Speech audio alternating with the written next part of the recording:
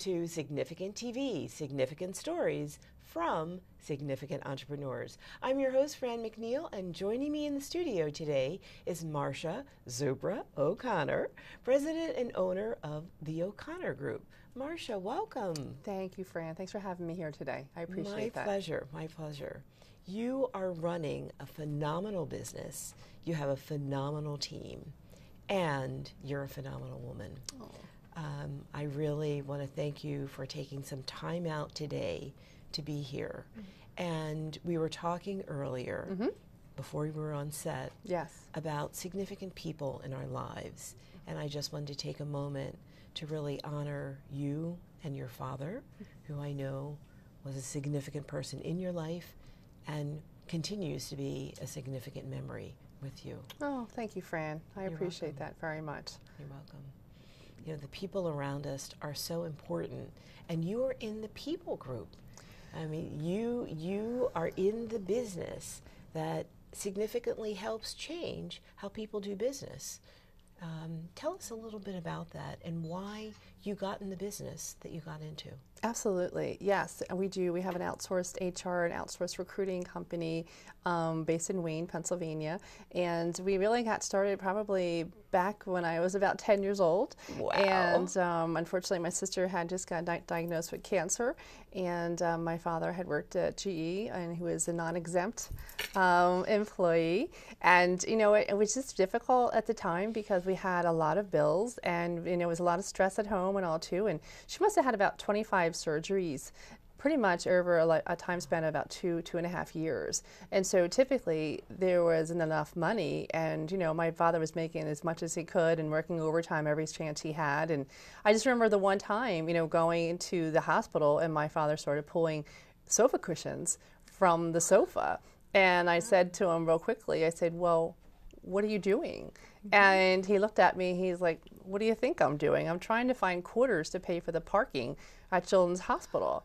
And I said, Well, I'll help you. And I started pulling the cushions up, saying, I'll try to find a quarter for you too. And, you know, just to make ends meet. And it was really difficult because if you don't realize it, um, you don't make a, a, lot of money and things like that happen in your life. You don't really have um, a wish list or a safety deposit.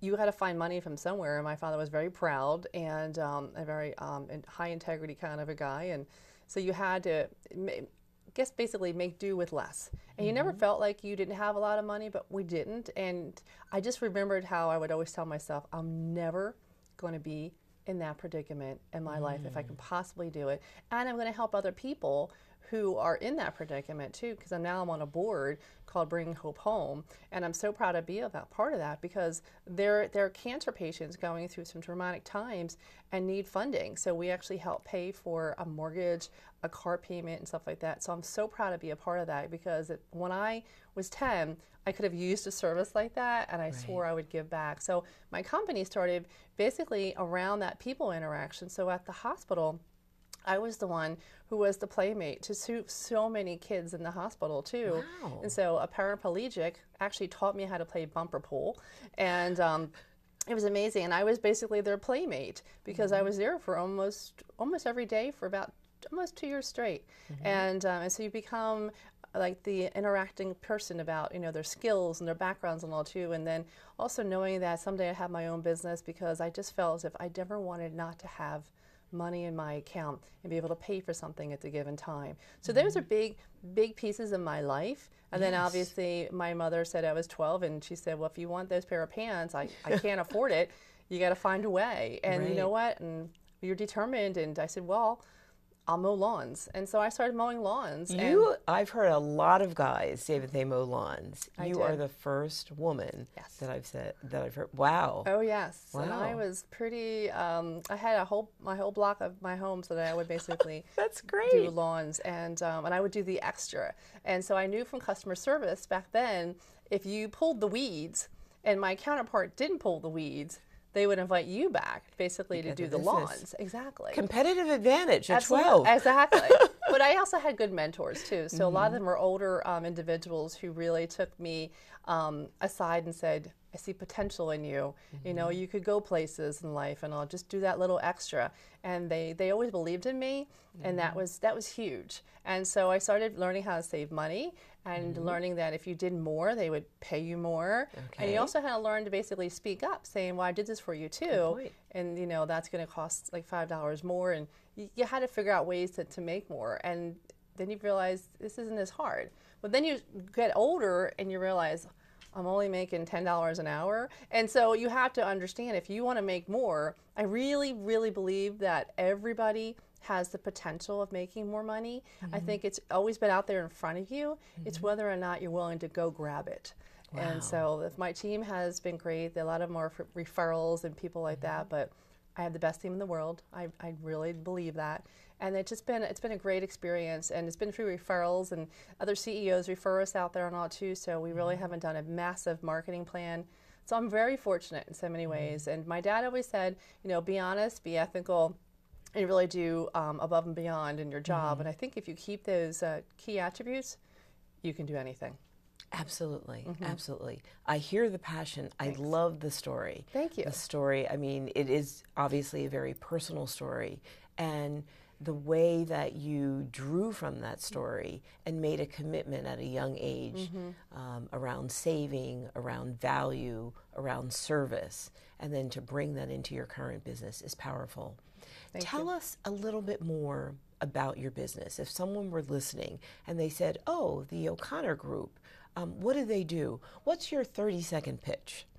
Absolutely. So we are a, an outsourced Mm-hmm. HR and outsourced recruiting talent acquisition company. So mm-hmm. basically, when a CEO is looking for outsourced HR resources mm-hmm. or somebody to manage their employee relations or put together a handbook, they would call one of my consultants. We would come in and basically be a partner with them to help them get them moving and grooving and until they're large enough to hire somebody full time. Okay. And the same thing on the recruiting side. We can be either a piece of recruiting or all of recruiting. And we try to really manage it so that we are an extension of them. And so mm-hmm. people on the outside have no idea that we're basically working for a different company. But we do a little bit differently. So we've got pretty experienced recruiters that really are deep dive sourcers, meaning people who find very niche skills and, and basically pulling them from a job that they never thought before they were interested in moving and moving them into a new location. So we're really good at that. And I mm-hmm. think when we really help them out in regards to their website and how to basically navigate the whole system of, you know, how come people aren't applying to your website? Mm. What's missing mm-hmm. and all too? Mm-hmm. And it's basically we have to have those frank conversations to let them know what they're missing and why. And then we help them put that together for them. So I'm hearing in that, I'm now going back to the lawn mowing and pulling the weeds. You're listening and looking for that extra service. Exactly. Um, That your competitors may not be providing, but you're solving a pain that the customer may not be aware of. Absolutely, yes. yeah. And so that's been um, our MO basically. And we always tell mm-hmm. people do the right thing. You mm-hmm. know, um, it's we have mottos: family first. We have a big family. Mm-hmm. Our group is really much into family and all too, and making sure everything is done right. It's just it's do the right thing no matter what. Even if you know I have to eat an invoice, you, you, sometimes that happens. And but if it's the right thing and you know in the long run it's ethically the right thing to do, you're going to do it. Wow. Yeah. Wow. Good team. I mean, it's really been great. But they they practice it too, and they're curious and all too. So it's been it's been a great ride. It'll be um be nine years September first already. Wow, which is amazing. congratulations. Thank you. That's Thank you. great. It is. And you've reached a number of milestones. Yes. Talk about some of the results that you and your team are really, really proud of. Oh my gosh. Um, I could tell you one in particular is a client that we're rolling off on a little bit too, and I'll let you. Sure. Um, Okay. So, this one client, uh, we went in there about um, seven years ago, Mm-hmm. and they asked us to do just four positions for the recruiting side.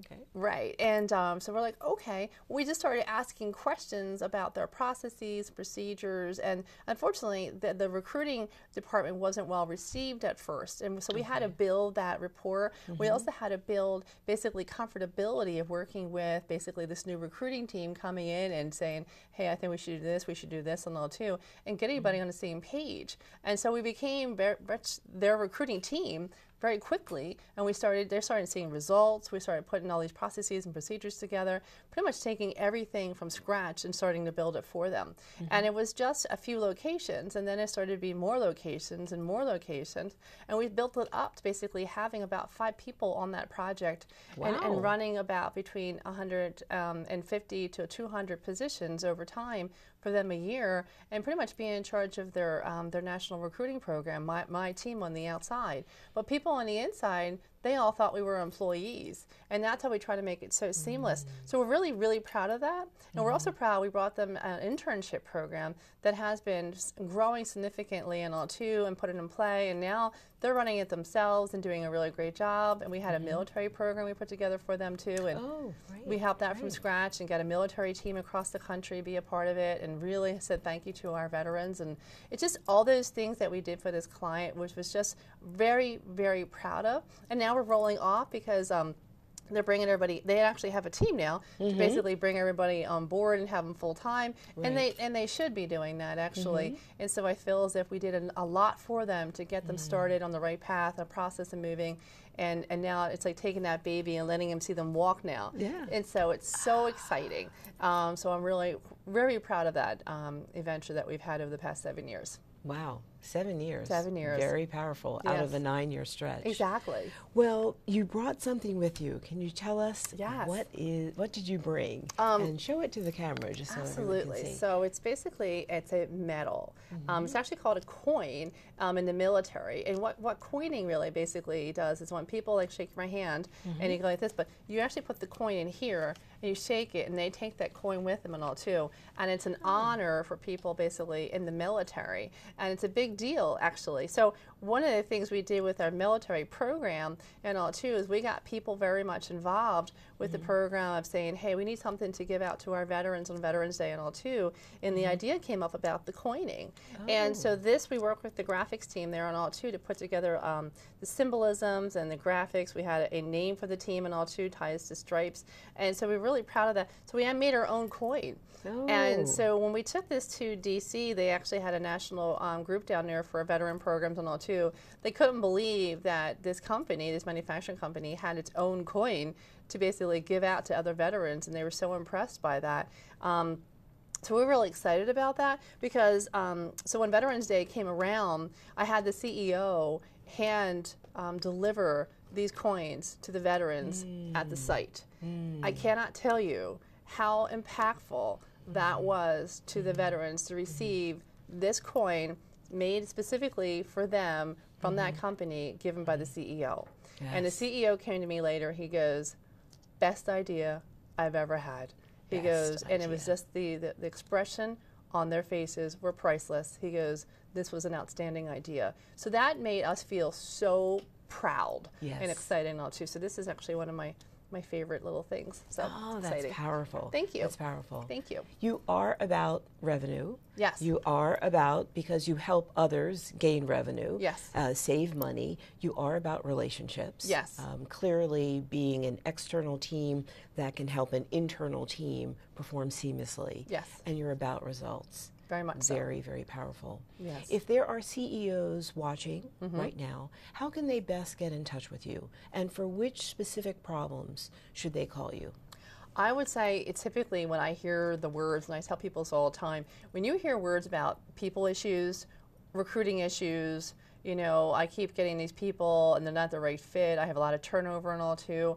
I would say it's time for just a conversation over coffee, mm-hmm. just, just for us to hear what's going on? Why are things wrong? Why do you believe that you keep posting all these positions, you're not getting anything? And typically, it's a little bit more than that. There has to be a mm-hmm. strategy behind recruiting. I think people don't necessarily think it's that hard, but it really is.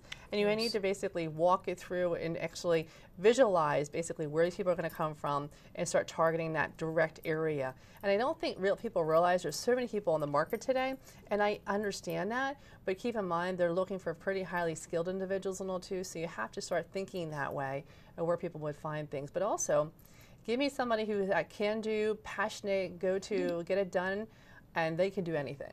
Excellent. I really believe that. Excellent. Marcia, it's been a pleasure having you on the show. Strategy, relationships, recruiting, Thank you. the O'Connor Group. Thank you, Frank. Thank you. Thank you so Thank you. much. Thank you. You're Wow. welcome. Wow. Thank you. Appreciate that. Significant stories, significant entrepreneurs, significant TV. My guest today, Marcia O'Connor with the O'Connor Group. Join us for our next episode, and we will continue to provide you with stories of significance. Thank you.